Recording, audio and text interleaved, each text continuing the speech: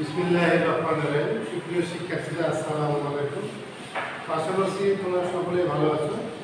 আমরা আজকে তোমাদের বোর্ডকৃত যে অ্যাসাইনমেন্ট দেওয়া আছে, সেই অ্যাসাইনমেন্ট নিয়ে আলোচনা। অ্যাসাইনমেন্টে যদি আমি সর্বোচ্চ নাম্বারটা পেতে চাই, তাহলে আমাকে কী করতে হবে? আসলে প্রথমত যে কাজটা করতে হবে, আমার অ্যাসাইনমেন্টটা সুন্দর করতে হবে। আমি যদি সুন্দর করতে চাই, তাহলে কী করতে হবে? লেখা সুন্দর হতে হবে। তাহলে আমি আজকে কীভাবে করব? আমার প্রথমত যে কাজটা করব। এ ফোর সাইজের অফসেট পেপার কিনে দেবো এই অফসেট পেপারে আমরা একটা পৃষ্ঠা ইউজ করব। একটা পাতা দুটো পৃষ্ঠা থাকে আমরা একটা পৃষ্ঠা ইউজ করব। আর অপর সাইডে আমরা লিখব। এক পাশে লিখব আর এক পাশে লিখব এই অফসেট পেপারে আমরা যে পরীক্ষা দিই, সেই পরীক্ষা কী করি আমরা? বাম পাশে এক ইঞ্চি দাগ দিই, আবার উপরের দিকে এক ইঞ্চি দাগ দিই। এখানে আমরা সেম কাজ করব। পেন্সিল দিয়ে বাম পাশে এক ইঞ্চি এবং উপরের দিকে এক ইঞ্চি কী করব? মার্জিন টানবো। মার্জিন টানার পরে আমরা কী করব? অ্যাসাইনমেন্টের যে প্রশ্নের উত্তর লিখতে হবে আমরা লিখব কি? এক নম্বর প্রশ্নের উত্তর অথবা ক নম্বর প্রশ্নের উত্তর অথবা খ নম্বর প্রশ্নের উত্তর, এইভাবে লিখব। আমাদের প্রশ্ন তোলার দরকার নাই। প্রশ্ন তোলার দরকার অ্যান্সারটা লিখলেই হবে।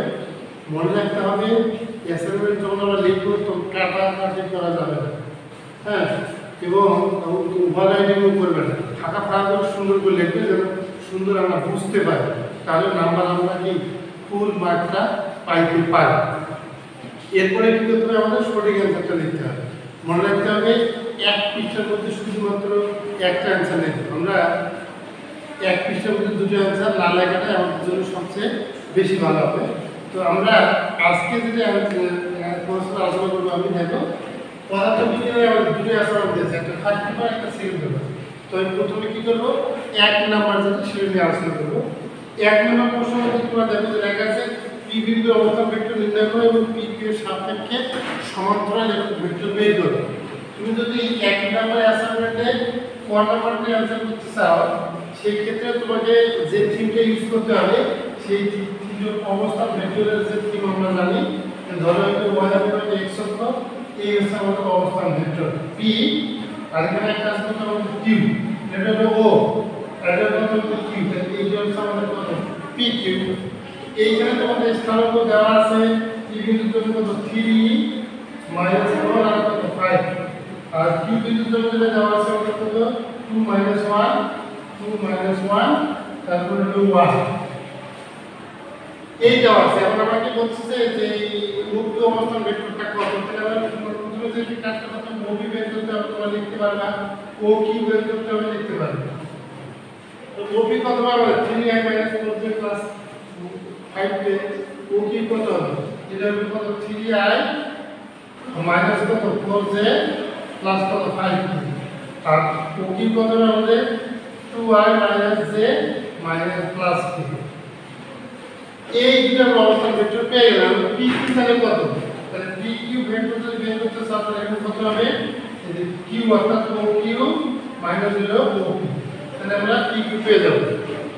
এবার এটা কি জানি আমরা যে সমান্তরাল একক ভেক্টরটা বের করতে হচ্ছে কি একক ভেক্টর সমান্তরাল একক ভেক্টর এটা সমান্তরাল একক ভেক্টরটা হবে যেটা কি? আর টু পি ইকুয়াল কত হবে আমাদের? এই পি কিউ ভেক্টর বাই হলো পি কিউ ভেক্টরের মান। এইটুকু যদি আমি লিখতে পারি, তাহলে আমাদের এক নম্বর প্রশ্নটার অ্যান্সারটা হয়ে যাবে। যদি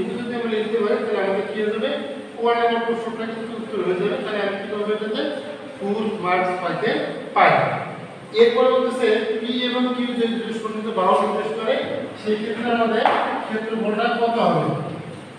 এই এবং ধরো এটি একটা সন্নিহিত এখানে কিন্তু ত্রিভুজ বলা যে সমতুল্য হবে না সমদ্বিবাহু হবে না সমবাহু তুমি কিছু বলা নেই? তো আমরা জানি যে কিউ যদি একটা বাহু নির্দেশ করে, এই ক্ষেত্রে আমাদের ক্ষেত্রফলটা হবে খ নাম্বার? হাফ ইন্টু কত পি ভেক্টর ক্রস কত Q vector half into P vector cross কত? কিউ ভেক্টর এটা বের করলে আমাদের ক্ষেত্রফল হয়ে যাবে। সেই ক্ষেত্রে প্রথমে যে কাজটা করতে হবে, যে পি ক্রস কিউ এইটা আমাকে বের করে নিতে হবে। I J K I J K এখান থেকে আমি কি করব? পি ক্রস কিউ কিন্তু পাবো। তাই যা পাবো, সেটাকে আমরা কি করতে হবে? এইখানে যে পি ক্রস কিউ আমরা পাবো, সেটা কি করতে হবে আমাদের? মান অর্থাৎ দিয়ে কি করতে হবে আমাদের? মান বের করতে হবে। মানটা এখানে বসালেই আমরা কি পাবো? ক্ষেত্রফলটা পেয়ে যাব। তাহলে আমাদের কি হবে? বল ক্ষেত্রফলটা আমরা পেয়ে গেলাম। এখন এখানে একটু খেয়াল করো যে তোমাদের এই অ্যাসাইনমেন্টের মধ্যে চিত্র দেওয়া আছে, তোমরা দেখবা। যে বলতেছে যে পি এবং কিউ এর পি এবং কিউ তো আছে, তার সাথে বলছে কি? যে আর আছে, যে আর আর যদি থাকে, তাহলে এদের আয়তন নির্ণয় করতে বলছে। কি নির্ণয় করতে বলছে বলো তো? আয়তন নির্ণয় করতে বলছে। আয়তনটা আমরা কীভাবে নির্ণয় করব? তাহলে এখানে একবার একটা আয়তন। আয়তন ইকুয়াল টু আমি তোমাকে নর্মালি যেটা শিখেছিলাম আয়তন ইকুয়াল হচ্ছে এ ক্রস বি ডট কত সি অর্থাৎ এই দুটোর সাথে একটা সি হলো? ডট গুণ আছে। তাহলে এখানে পি কিউ আর আছে। পি কিউ আর তাহলে আমি এখানে কত পি ভেক্টর ক্রস কত কিউ ডট কত? আর ডট হলো আর এই যে বের করলে আমাদের কি হয়ে যাবে? আয়তন নির্ণয় করা হয়ে যাবে। সেই ক্ষেত্রে যদি এটা শূন্য আসে, আয়তন যদি শূন্য আসে, তাহলে একটা কথা লিখে দিতে হবে কি? যে এই ভেক্টরটা একই সমতলের উপর অবস্থান করে। এই ভেক্টরটা কি করবে? একই সমতলের উপর অবস্থান করবে। কখন? যখন এতে কি আসবে শূন্য আসবে। এরপরে আমাদের বলছে, ঘর দেখো। ঘর প্রশ্নটা বলছে যে পি কে যদি আমি নদীর প্রস্থ করি কি হলো স্রোতের বেগ আর যদি হয়, তাহলে এখন সবচেয়ে কম সময় নদী পার হতে কি ব্যবস্থা গ্রহণ করব? সবচেয়ে কম সময়। তাহলে আমি যদি একটা নদী আঁকি, এখানে দেখো, আমরা একটা নদী আঁকবো, তাই না? সে ধরো এই জন্য একটা নদী এটা নদীর প্রস্থ নদীর প্রস্থ তাহলে কি আবার নদীর প্রস্থ হয়ে গেল প্রস্থটা আমার কত হবে পি পি ভেক্টরের মান এটা হলো ডি দেখি এটা হলো নদীর প্রস্থ এটা হলো নদীর প্রস্থ হবে আমার, তাই না তাহলে এখানে কিউ ভেক্টরকে বলা হচ্ছে স্রোতের বেগ এটা হলো কি স্রোতের বেগ বেগ স্রোতের বেগকে দিয়ে থাকে আর আর হলো কি বেগ আমাদের নৌকার বেগ এটা কি বের করব আমরা সবটা মান বের করব মান। আর এখানে আর একটা নির্দেশনা দেওয়া আছে সেটা হলো যে সবগুলোকে কি কিলোমিটার পার আওয়ারে নিতে হবে। কিলোমিটার পার আওয়ারে করতে হবে? নিতে হবে। এখন একটু খেয়াল করো যে কম সময় নদী পার হতে একটু খেয়াল করো। নদীতে কি আছে আমার? স্রোত আছে। নদীতে কি আছে? স্রোত আছে। স্রোত আছে। তাহলে নদীতে যদি স্রোত থাকে, তাহলে তো আমরা কি যে বেগে সাঁতার কাটি, সেই বেগে কিন্তু সাঁতার কাটতে পারব না। তুমি যদি এখন সোজা পৌঁছাতে চাও, তাহলে এই দিকে রওনা দিবা। বাট এই দিকে যদি রওনা যাও তাহলে এখানে পৌঁছাতে আমার সময়টা বেশি লাগে। তাহলে স্রোতটা টুকি করি আমি যদি সোজা সাঁতার কাটি, এবার সোজা, তাহলে আমি এইখানে পৌঁছাবো। এই দিকে তাড়াতাড়ি পৌঁছাবো। অর্থাৎ আমাকে যে থিওরিটা ইউজ করতে হবে, যে নাইনটি ডিগ্রি অ্যাঙ্গেলে সে যদি সাঁতার কাটে, তাহলে সে কিন্তু পৌঁছাতে পারবে সোজা।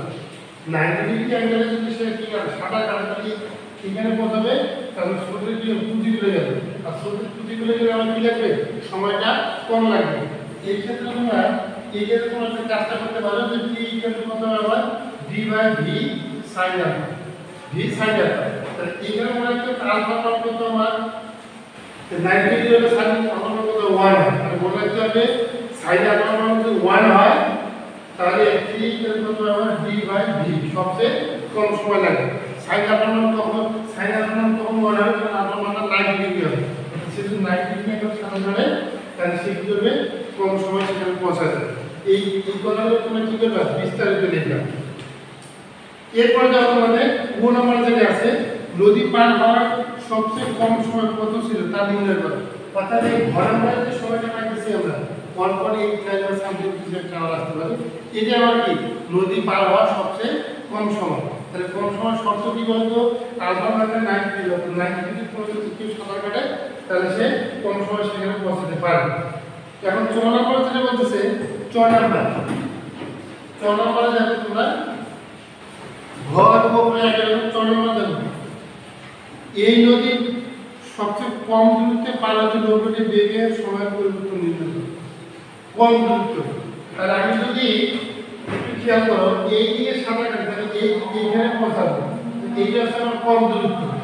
যদি আমি এই দিকে সাঁতার কাটি আমি এইখানে পৌঁছাবো তার মানে মূলত যে কাজটা করতে আমি ছ নম্বরে, আমি কত ডিগ্রি অ্যাঙ্গেলে সাঁতার কাটলে কত ডিগ্রি অ্যাঙ্গেলে সাঁতার কাটলে সোজা হবে। তাহলে এর থিটা মানটা ধরতে হবে 90 ডিগ্রি আলফা মানটা বের করতে হবে। আলফা বের করব। আলফা মানটা কি করব? কত হবে? D by v sin alpha এটা করলেও হবে, কেউ যদি করতে চাও, সেটা হলো যে এই সাথে সাথে আলফা একটা পেয়ে গেলে, সেটা লোক বেগ বেগ- একটা বের করবে। পি স্কয়ার কিউ স্কয়ার আবার এই এই ওদের যে কাজটা করতে হবে, প্রথমত যে কাজটা করতে হবে আলফা মানটা প্রথমে খুব সম্ভবত একশো তিরিশ দশমিক সামথিং আসতে পারে। একশো তিরিশ দশমিক সামথিং দেওয়া এখানে R one R one equal ধরতে বের করলে এখানে একটা হবে কত? কিউ স্কয়ার প্লাস কত হবে? R square plus two Q R plus R সেক্ষেত্রে মান বসাবে এটা আর ইকুয়াল কত হবে? R D by R. D by R.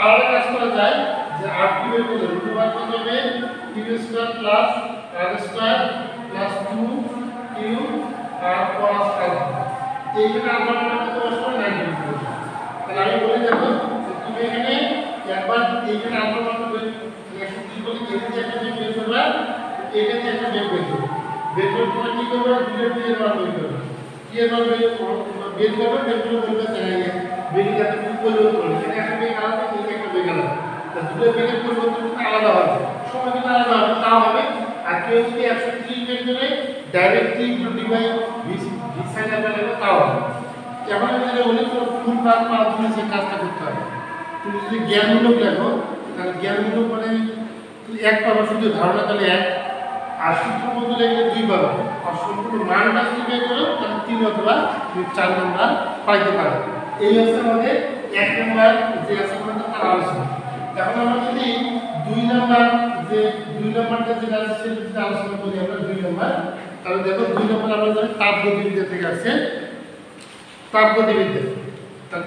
তো প্রথমে যে তোমাদের ইয়েটা আছে, বলছি এন্ট্রপির মাধ্যমে তাপ দ্বিতীয় সূত্রটা ব্যাখ্যা করা যায়। তার মানে প্রথমে যে কাজটা করতে হবে এন্ট্রপির মাধ্যমে গ- তাপ গতিবিদ্যার দ্বিতীয় সূত্রটা আছে দেখবে লেখা আছে তাপ গতিবিদ্যার সূত্রটা দেখবে। এরপর দেখো তোমাদের হচ্ছে পরিবহন পরিচালনা এবং বিকিরণের তাপ সঞ্চালনের ক্ষেত্রে এন্ট্রপির বৃদ্ধি। একটু সহজ কথা, পরিবহন পরিচালন বিকিরণ, তিনটি হচ্ছে অপ্রত্যাবর্তিক প্রক্রিয়া। এই তিনটে কি আমাদের অপ্রত্যাবর্তিক প্রক্রিয়া। যেহেতু অপ্রত্যাবর্তিক প্রক্রিয়া আমাদের তাপমাত্রা বৃদ্ধি পায়, তাপ বৃদ্ধি পায়, সেই কারণে আমাদের মনে রাখতে হবে কি পায় বৃদ্ধি পায় ডিএস এখানে আমাদের কি? ডিকিউ বাই টি তাহলে আমি কি বলতে গেল যে ডিএস ডিএস হলো আমাদের পরিবর্তন নট এন্ট্রপি ডিকিউ হচ্ছে তাপের পরিবর্তন, আর টি হলো তাপমাত্রা। এইখানে যেটা তোমাদের বলতে চাই যে তাপ বাড়লে এন্ট্রপি কি হবে? বাড়বে। তার মানে পরিবহন যদি হয়, পরিবহন মানে কি? একটা কঠিন পদার্থ দিয়ে তাপ যায় এই তাপটা তো ফিরিয়ে আনা যায় না। তাহলে এইটা হচ্ছে অপ্রত্যাবর্তী প্রক্রিয়া অপ্রত্যাবর্তী প্রক্রিয়া তাপ বাড়ে, তাই এন্ট্রপি বাড়ে পরিচালন যদি হয়, আমরা গরম পানিতে, ঠান্ডা পানিতে ঠান্ডা পানিতে, গরম পানি যদি দিই এইখানে কি হয়? যে তাপ হ্রাস বা বৃদ্ধি যায় পায় তাপমাত্রা হ্রাস পালে এন্ট্রপি হ্রাস পায়, আর যে তাপমাত্রা বৃদ্ধি পাচ্ছে এন্ট্রপি কি পাবে? বৃদ্ধি পাবে। আর তৃতীয়ত যেটা আছে, বিক্রম। বিক্রম তো সেম তাপ আসতেছে পৃথিবীতে পৃথিবী উত্তপ্ত হইতেছে। এটা একটা কি অপরতাবর্তী প্রক্রিয়া পৃথিবী থেকে তাপ কিন্তু উপরে চলে যায় সেখানে আমরা বলতে পারি, এই তিনটার জন্য কি হয়? আমাদের এনট্রপি বৃদ্ধি পায়। এনট্রপি কি পায়? বৃদ্ধি পায়। তাপ বৃদ্ধি পায়। এনট্রপিতে কীভাবে বৃদ্ধি পাবে। হতে বলছে গেল ধরো তুমি সাতাশ ডিগ্রি সেলসিয়াস তাপমাত্রা, স্বাভাবিক চাপে এক গ্রাম হাইড্রোজেন গ্যাসে আয়তন সমস্যা তথ্য প্রসারিত করে চার গুণ করলে এতে এন্ট্রপি পরিবর্তনটা নির্ণয় করে এন্ট্রপি পরিবর্তনটা নির্ণয় করে এইখানে আমরা জানি তাপগতিবিদ্যায় যে সূত্র আমরা জানি যে ডিকিউ ইকুয়াল কত আমাদের? ডিইউ প্লাস ডিডব্লিউ যেহেতু সমস্যা প্রক্রিয়া সমস্যা প্রক্রিয়া যেটা খনাম সমস্যা প্রক্রিয়ার জন্য ডিইউ কত মানে জিরো ডিইউ জিরো তাহলে ডিকিউ ইকুয়াল কত আমাদের? ডি ডাব্লিউ ডিকিউ ইকুয়াল কত? ডি ডাব্লিউ তাহলে এখানে আমাদের সমস্যা প্রক্রিয়ার জন্য এ আর টি লন কত? ভিডিও বাই ওয়ান তার তাপমাত্রা দেওয়া আছে। আর মোট সংখ্যা বের করতে পারি, আর মান বের করতে পারি। তাহলে আমি এখান থেকে ডিকিউটা কি পাবো ডিকিউ পাই যাব, তারপরে ডিএসসি বের করতে হবে ডিকিউ বাই ডি এইভাবে আমরা কি করব? যে এই তাপমাত্রা আমাদের এন্ট্রপির মানটা বের করতে হবে। আমি লাস্ট আগে বলি যে সমস্ত সূত্রে অভ্যন্তরীণ শক্তি জিরো তাহলে সকল তাপটা মধ্যে যদি হয়। তাহলে সমস্ত সূত্রের জন্য আমরা কি করতে হবে সমীকরণ এনআরটি লগ করব। ডিটি বাই পি ওয়াই এখানে ডিটিটা পাবো ডিটিটা পাইলে ডিএসসি হলো ডিটি বাই ডি তাহলে আমি এই জন্য পরিবর্তনটা এইভাবে নির্ণয় করতে পারি এটি হলো আমাদের খ নম্বর এখন বলতে কি বলছে দেখো, আর সমস্ত প্রক্রিয়ায় গ্যাস এই সমস্ত প্রসারিত করার ক্ষেত্রে চাপের পরিবর্তন হবে কিনা? হাইড্রোজেন গ্যাসের এই প্রক্রিয়ায় কাজের মান নির্ণয় করো। তাহলে প্রথমত দেখো যে এইখানে আমাদের আয়তনের পরিবর্তন হয়েছে, তার মানে চাপেরও পরিবর্তন হবে।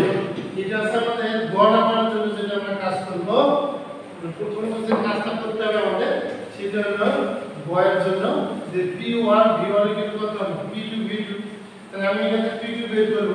যে P two P one V one by কত? ভি টু এখানে পি টু বের করতে চাপের পরিবর্তন বেড়ে যাবে। এরপর আমরা বলছি হাইড্রোজেন গ্যাসের ক্ষেত্রে এই প্রসারণে কৃত কাজ? এই প্রসারণে কৃত কাজ তাহলে ডাব্লিউ এর কত এ আর টি লন কত P one by P two আমরা চাইলে এটা দিয়েও করতে পারি অথবা কি? V one by V two এটা দিয়েও করা যাইতে পারে। এখন আমরা দেখব ঘনাবার সমচাপ থেকে এক গ্রাম হাইড্রোজেন গ্যাসের আয়তন চার গুণ প্রসারণে আমাদের এন্ট্রপির পরিবর্তন। সমচাপ প্রক্রিয়া খেয়াল করো সমচাপ প্রক্রিয়াটা কি? সমচাপ তাহলে সমচাপ প্রক্রিয়া আমরা জানি? যে ডিডব্লিউ এর কত হবে আমাদের? পি ডিভি বা আমরা কি লিখতে পারি? পি কত? ডিটি বাই কত? ভি ওয়ান এখানে সমচাপ ও সমসূত্রকে এই এই গ্যাসের এন্ট্রপির পরিবর্তন আমাদের সেম কাজ কিন্তু কাজটা বের করে আমরা কি করব? যে ডিডব্লিউ ডিএসসি করব। সেম আরেকটা মতো গোয়াল করতে আমরা কি করব? ডিএসসি এর মতো লিখব যে তোমার ডি ইউ বাই কত ডি তাহলে এখানে এক সূত্র যদি আমরা কত জানি? ডিডব্লিউ এখানে কত হবে? এ আর টি কত? লগ কত? ডিডি বাই পি ওয়ান এ এটা কি আমাদের এটা আমাদের কত ডিকি এটা ডিকিউ বাই এটা আমাদের কত ডিডব্লিউ ডিকিউটা বের করে বা ডিডব্লিউটা ডিকিউটা হলো ডিডব্লিউ সমান। এটা বের করে এখানে কিন্তু আমরা এন্ট্রপি পরিবর্তনটা পেয়ে যাব। আচ্ছা তারপরে মূল নম্বর যে কারণ চক্রকে তাপমাত্রা কোনো এক্সিস্টের সাহায্যে করে বিভিন্ন ধাপগুলো করা হয়। তাহলে কারণ চক্র আমরা জানি যে কারণ চক্র ধাপ হলো কয়টা? চারটে। কারণ চক্র ধাপ হলো কয়টা আমাদের এই যে ধাপ একটু খেয়াল করবে এক, দুই, তিন, চার। এক এবং তিন কি? সমস্যা প্রক্রিয়া। সমস্যা প্রক্রিয়ার ক্ষেত্রে আমরা জানি যে এন্ট্রপি আছে। থেকে আমি লিখি যে ডিএস ওয়ান ইকুয়াল কত? মানে ডিএস ওয়ান ইকুয়াল কত হবে? Q one by Q one আর এখানে কি হবে? S two equal to Q two by Q two আর এই দুই এবং চার রুদ্ধতাপ প্রক্রিয়ার ক্ষেত্রে এন্ট্রপি কি থাকে? স্থির থাকে। রুদ্ধতাপীয় প্রক্রিয়ার ক্ষেত্রে এন্ট্রপি স্থির থাকে। তাহলে এই দুই ক্ষেত্রে আমাদের কি হবে? জিরো অর্থাৎ এন্ট্রপি কি আমাদের DS one zero DS four কত? জিরো জিরো হবে। শুধুমাত্র এই দুই ক্ষেত্রে থাকবে। এইটা হবে পজিটিভ এন্ট্রপি একটু নেগেটিভ কারণ হলো, এখানে তাপমাত্রা হ্রাস পায়। তাপ হ্রাস পায়, সেখানে এন্ট্রপিটা বেরিয়ে যাচ্ছে তারপর ব্যাখ্যাটা আমি করলাম যে এখানে এন্ট্রপি আছে, এখানে নাই, এখানে এন্ট্রপি আছে, এখানে নাই। এই সমীকরণগুলো তোমরা ব্যাখ্যা করবে তাহলে কিন্তু তোমরা ফুল মার্ক পেয়ে যাবে। এখন সর্বশেষ যেটা আছে আমাদের দুটো ফিগার দেওয়া আছে একটু দেখো। দুটো ফিগার দেওয়া আছে, এই দুটো ফিগার দেখো তোমরা এইখানে একটা ফিগার আছে ফিগার আছে এখানে দেওয়া আছে কত এটা এক নয় এটা কত আমাদের দুই। নয় তাহলে এখানে দেওয়া আছে তোমাদের এ ধরো এটা কত এটা বি এখানে লাগাতে হবে সমস্যা নাই চাইলে দিতে পারব লাগাই ধরো এখান একটা এই যে এখান এটা হলো এক নম্বর এটা কত দুই এ তাহলে বি তাই না এখান থেকে উপরে এখান থেকে তাহলে এটা হলো এ একটু খেয়াল করো, যেটা এ থেকে বি বি থেকে তাহলে আমরা দুটো এ এ থেকে বি তাহলে ডিএস ওয়ান প্লাস একটা কি হবে? বি থেকে এ সে এই দুটো কত? জিরো হবে। এই এই এই দুটো যোগ করতে সমান জিরো মনে রাখতে হবে এখানে ডিএস টা হলো প্লাস ডিএস টু হলো মাইনাস যোগ করলে জিরো হবে এই যে একটা আছে পূর্ববর্তী প্রক্রিয়া অর্থাৎ এই প্রক্রিয়ায় আমাদের তাপ এবং কাজ সমান থাকে। যার কারণে আমাদের কেন্দ্রের পরিবর্তন হবে জিরো অর্থাৎ যোগ করলে কি হবে। জিরো হবে তার পূর্ববর্তী প্রক্রিয়ায় তাপমাত্রা স্থির যা কাজ করে তার তাপের রূপান্তরিত হয়। সেই কারণে তাপটা স্থির থাকে যার কারণে এন্ট্রপি হবে জিরো দুই নম্বরটার ক্ষেত্রে খেয়াল করো এটা এটা একটু উল্টা। এ থেকে বি এর বিপরীত দিকে এখানে লেখা আছে যে বিপরীত। ফিঙ্গার টুটা কি? আমাদের বিপরীত। যদি বিপরীত হয়, এই ক্ষেত্রে মনে রাখতে হবে A B DS one plus কত? বি এ কত? DS two equal to not zero এই প্রক্রিয়াটা আছে দুই নম্বর যে ফিগারটা দেওয়া আছে, সেটা তোমাদের অপ্রত্যাবর্তী প্রক্রিয়া। দুই নম্বর ফিগারটা কি তোমাদের? অপ্রত্যাবর্তী প্রক্রিয়া। অপ্রত্যাবর্তী প্রক্রিয়া আমাদের যেটা হয় সেটি এনট্রপি কি হয় বৃদ্ধি পায় তাপমাত্রা বাড়ে এনট্রপি বাড়ে। তোমরা এই আমি যে তোমাদের জন্য এগুলো হচ্ছে আমাদের জাস্ট একটা ধারণা তোমরা এই ধারণাগুলো নিয়ে খুব সুন্দর করে অ্যাসাইনমেন্ট লেখবে তাহলে ফুল নাম্বার যাবে। মনে রাখতে হবে, শুধুমাত্র ধারণা লিখলে এক, সূত্রবন্ধ লিখলে দুই পাবা, আর পুরোটা যদি ক্লিয়ার করে, তাহলে পাবো তিন অথবা চার। যদি লেখচিত্র লেখচিত্র দেওয়া কি? বাধ্যতামূলক। লেখচিত্র দিলে কেবলমাত্র আমরা ফুল নাম্বারটা পাইতে পারি। তো আমি আশা করি তোমরা সুন্দর করে অ্যাসাইনমেন্ট থেকে জমা দেবে এবং ফুল নাম্বারটা পাইতে পারো। সবাই ভালো থাকো। আসসালামু আলাইকুম।